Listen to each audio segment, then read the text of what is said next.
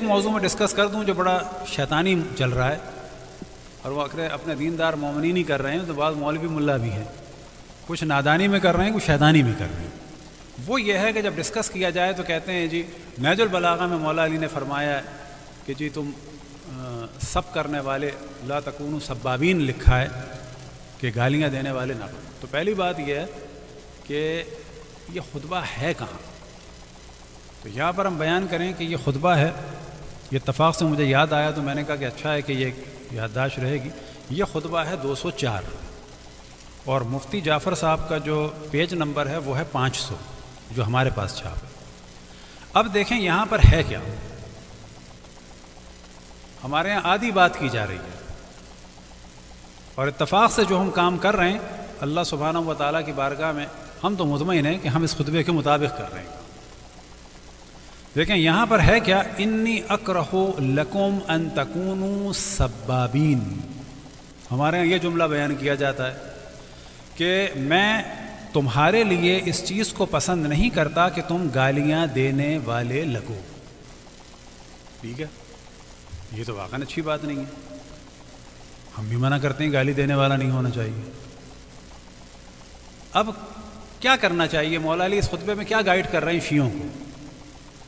कि जिसमें हम ये समझते हैं कि हमारे पास उलमा भी धोखा खा रहे हैं। एक जुमला उन्होंने सुन लिया है क्योंकि सीना बसीना अगला जुमला नहीं सुना है कि मौला अली ने यह तो कह दिया है, आगे कोई ज़िम्मेदारी लगाई है तुम्हारी कि नहीं लगाई?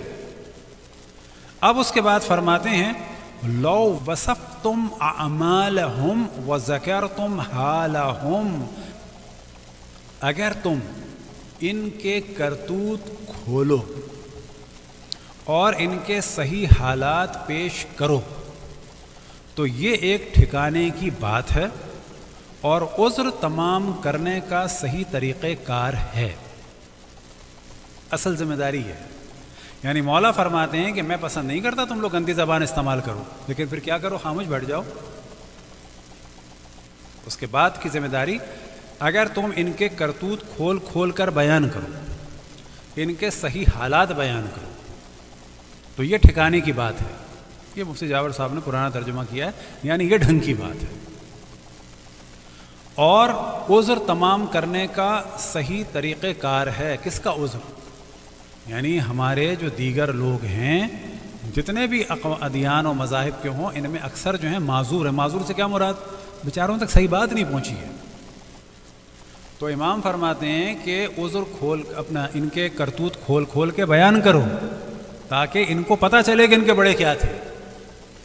गाली देने से मना किया है तारीख़ी हक़ाइक, दलाइल के साथ मनतिकी तरीके से बयान करने से आयमा ने ना ये कि मना नहीं किया, बल्कि हुक्म दिया है। तो ये चीज़ जहन में रहे। तो ये जो जिस जिस जिसने भी सुन लिया, तब क्या हो गया? आप फंस गए सब। आप सब फंस गए। किसमें फंस गए? कि मौला अमीरुल मोमिन चाह रहे हैं कि उनके दुश्मनों को आप बेशक गाली ना दें। वो तो मना कर रहे हैं और गाली हमारे नहीं देते वाकन गलत है। लेकिन हम उनके किरदार को बयान करें और उनके औसाफ बयान करें, तारीख़ में उन्होंने क्या किया और क्या नहीं किया। मिसाल के तौर पर, जंग जमल हम नहीं बयान करेंगे तो कौन बयान करेगा? अब ये और बात है कि जमात इस्लामी के मुनवर हसन साहब ने जंग जमल बयान कर दी, बहुत ही लतीफ़े वाली बात है। जब उनसे सवाल किया गया तालिबान के बारे में कि ये मुसलमानों को मार रहे हैं, क्या मुसलमान हैं ये?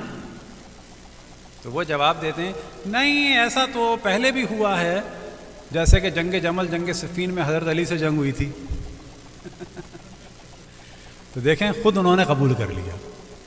तो यहाँ पर हमारी ज़िम्मेदारी है कि हम सवाल करें कि आज कानून आपका यह है कि जो सहाबा को ना माने वो काफिर, जो बुरा बोले वो काफिर। क्योंकि आजकल ये भी कहा जा रहा है जो इन खलफा सलासा को ना माने या खलफा राशिदीन को ना माने काफिर तो सवाल किया जाएगा, ये नया कानून है या पुराना कानून है? ये कानून तुम्हें ज़्यादा पता है या उनको ज़्यादा पता होना चाहिए था, असहाब रसूल को? तो हम ये देखते हैं कि जनाब आयशा ने हमला किया मौला मीरमिन पे, या उनको कानून नहीं मालूम होगा ये? या उनको मालूम था और हमला किया? या असल कानून ही नहीं था। तो ये एक मनतकी तरीक़ा है, इसको डिस्कस करने में ना ये कि बुराई नहीं है, बल्कि ये ज़रूरी है। और आज जो ये सिलसिला हो गया है कि जी ज़माना सही नहीं है, ज़माना सही नहीं है, ये सारी चीज़ें इलमी तरीके से मनतकी तरीके से सबसे ज़्यादा जिन्होंने बयान की, वो शेख मुफीद ने बयान की और ख़तरनाक तरीन दौर में बयान की।